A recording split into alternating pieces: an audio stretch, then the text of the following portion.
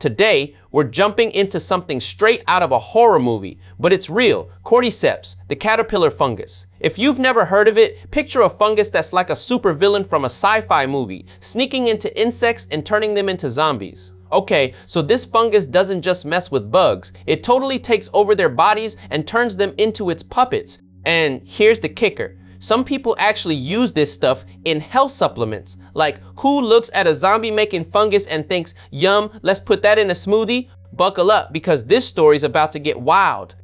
So, what's cordyceps all about? Imagine a caterpillar crawling through the forest, just living its best life, munching leaves, not a care in the world. Then, out of nowhere, it brushes against some tiny fungus spores. Those spores are like sneaky ninjas, so small you can't even see them. They stick to the caterpillar's skin and boom, they start burrowing in. It's like the fungus is saying, nice body you got there, mind if I move in? Before the caterpillar knows what's hit it, the fungus is growing inside, spreading these creepy stringy threads through its insides, eating it from the inside out. In a few days, that poor caterpillar is toast. It still looks like a bug on the outside, but inside, it's a fungus party, and the caterpillar wasn't invited. This usually happens in winter, so the caterpillar's body just sits there, frozen like a bud popsicle in the cold soil of places like the Qinghai Tibet Plateau. That's way up high, like 3,000 to 5,000 meters in the mountains, where the air's so thin you'd be gasping for breath. When spring rolls around, the fungus gets to work again. It sprouts a little stalk right out of the caterpillar's head like it's planting its victory flag. That stalk pushes up through the dirt, sometimes stretching 5 or 6 centimeters tall, and at the top, it forms a tiny mushroom-like thing that shoots out more spores to find new victims. From the ground, it looks like a dried up blade of grass, which is why they call it summer grass. Cool, right? That's how cordyceps gets its nickname winter worm summer grass. But let's be real, it's not a worm or grass. It's a straight up fungus playing the long game to spread its evil empire.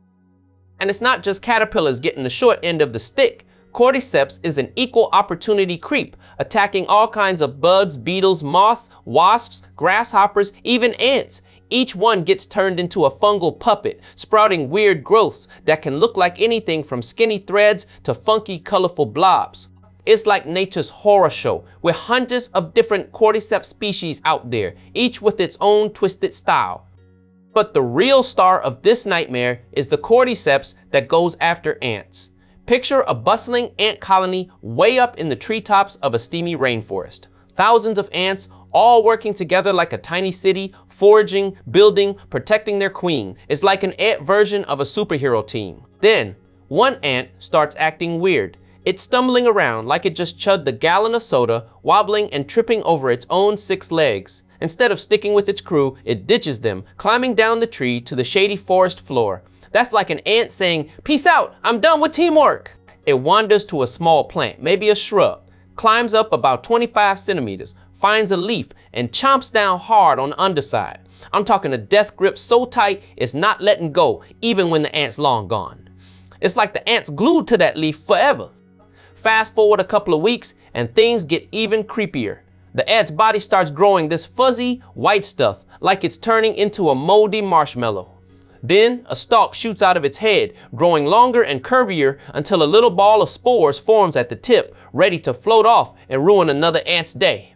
Walk through that forest and you'll see dozens of these zombie ants, all stuck to leaves at the exact same height, all on the north side of trees, all biting down like they got the same creepy memo. It's like a scene from a zombie apocalypse, but tiny and real. Scientists couldn't just let this mystery slide. Back in 2009, a team led by Dr. David Hughes from Penn State University went full detective mode in Thailand's rainforest. They collected hundreds of these dead ants, measuring exactly where they ended up.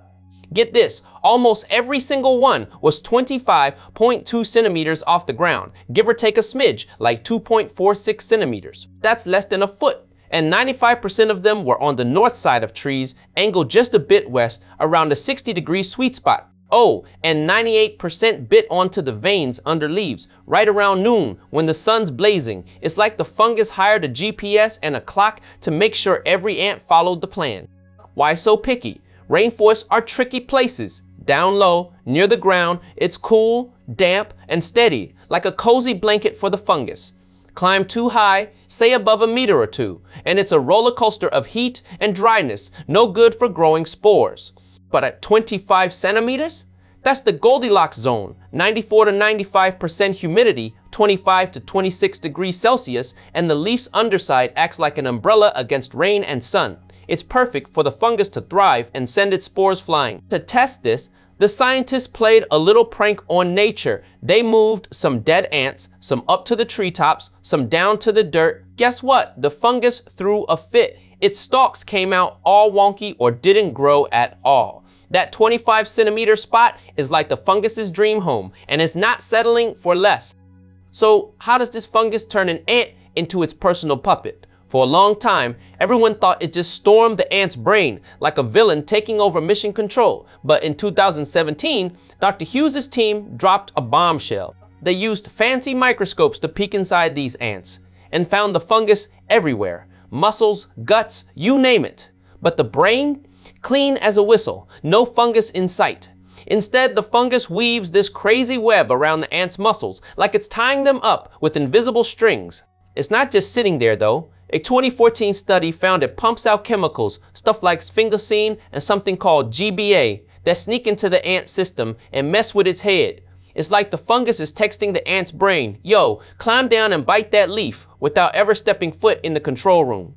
And that death grip, it's brutal. The fungus messes with the ant's jaw muscles, making them lock up tight. The ant might wiggle and squirm, trying to break free, but it's no use.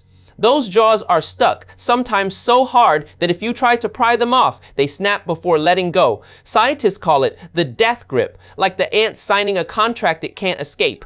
It's the fungus's way of saying, you're mine now.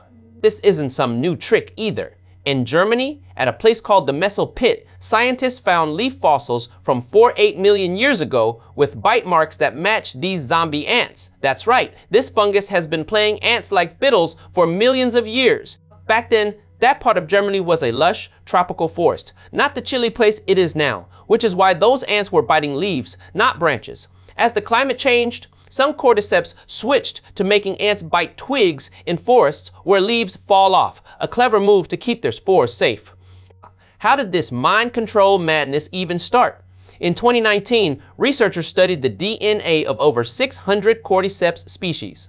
Way back when, these fungi mostly went after beetle larvae, simple bugs that just died wherever they were. No fancy tricks needed. But ants, they're a whole different ballgame. Ants live in tight-knit colonies like little communes, and if one gets sick, the others kick it out to protect the group. It's like the ant version of sorry. You're not invited anymore. That's great for the colony, but bad for the fungus, because a tossed out ant might end up in a terrible spot, like under a rock or in a puddle. So, the smartest fungi started making ants leave on their own, picking the perfect place to die. Over millions of years, the ones that could pull this off won the evolutionary jackpot.